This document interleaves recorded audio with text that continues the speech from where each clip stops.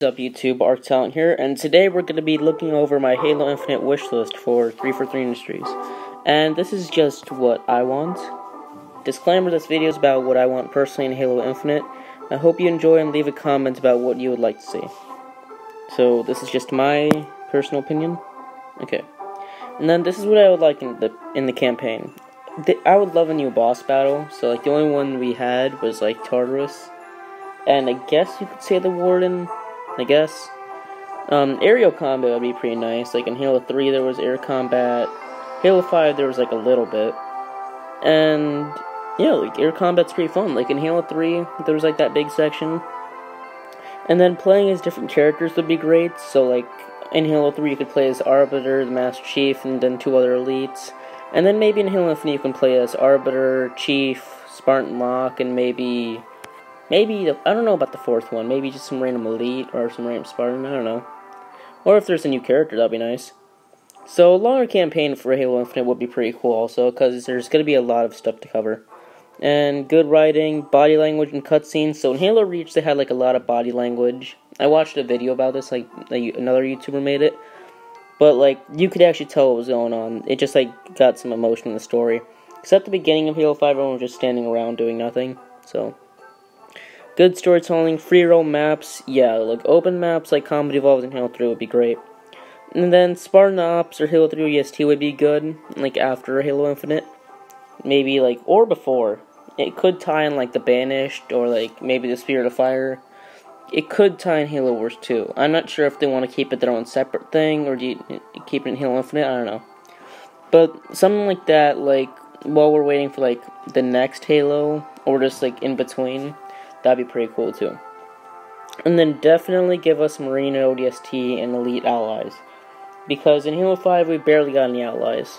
Like, any like AIs. And old vehicles would pre be pretty cool. Like the Falcon would be good in multiplayer because it's like a teamwork vehicle. Takes Troop Chancellor Warthog would be good in the campaign. The Mammoth would be like really fun. And so would the Elephant.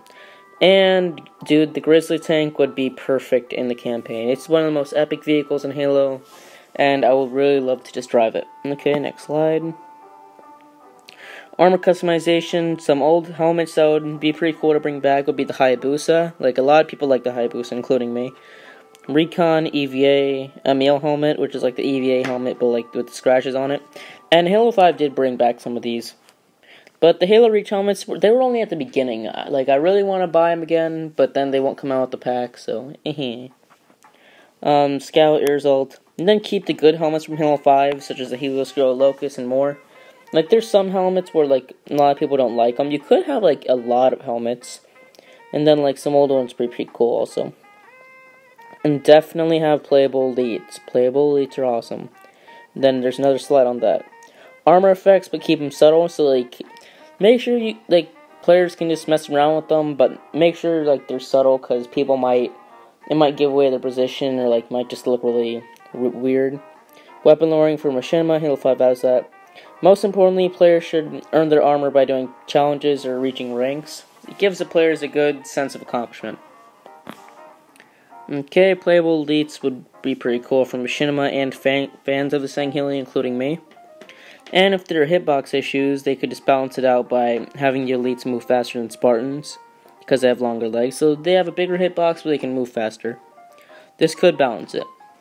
And maybe you can have the option to like um, get rid of the movement speed boost, um, if for like custom games or something. Or you could just have a bigger hitbox. Eh, I don't know. Maybe bigger hitbox, more health, something like that. Armor abilities, some, make some of them single use, like Halo 3, so if a player kills someone who hasn't used it, then they can have it. And Sprint should be an armor ability, in my opinion, because it can increase speed. And so there's a couple single usage ones and a couple recharge use ones, and really bring back the jetpack. I don't know why it wasn't in Halo 5, but it would be great. Armor lock would be pretty cool too, but like only for 3 seconds. Because it's annoying when, like, you're about to kill someone and go in armor lock, and then you have to wait for a long time, and a Reach. And make sure it has a slow regen time. So, you use it when you need it. Not like every second there's, there's like a tank coming out for you, just keep armor locking, because that gets annoying fast. And then for the single uses ones, make sure like you can have like armor abilities, but like also have some of them mixed into because that was pretty cool in Halo 3. I mean, not Halo 3, Halo Reach, where you could have like two of them in one. It would make it better. So bubble shield and regeneration would be pretty cool. I like that. So like, you could put the shield down, also regen your health. Okay, here's multiplayer. There'll be a good variety of games at launch with temporary game modes such as holiday specials, events, and challenges to spice, spice up gameplay and keep players active. Some new modes would be nice as well. Some co-op vehicles would be nice because they require teamwork, such as the Falcon or Elephant. The Scarab and Mammoth in multiplayer would be nice too.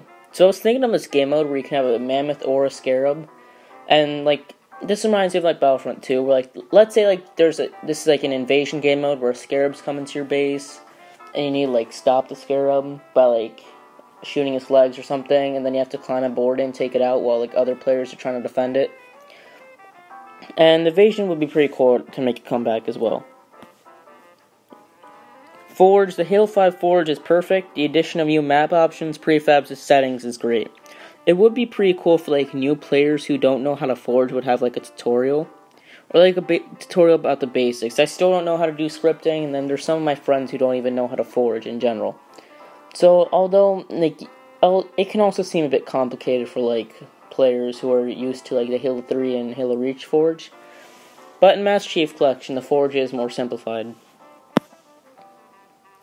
Firefight would be customizable in waves and settings like Halo Reach, and you should be able to have like Marines and ODSTs and Elites on your side in Firefight. Like it should have the option. Because that'd be pretty cool if, like, let's say you hold down a base, then you have Marines some assisting you. So think like that Halo Reach Anniversary map where you have those like four ODSTs. That was actually pretty cool. And Flood Firefight would be pretty cool, but like I was thinking that could be like a separate game, like a spin-off, because a lot of people were talking about Flood horror game. And Halo 5 Theater would be the same, but it would be possibly improved in any way, maybe. So also have like a file share thing, sort of like how Halo Reach did. And yeah, that's about it. Please leave a like and subscribe on what you'd like to see in Halo Infinite. Like, leave a comment down below. And that is all, folks. So, see you next time.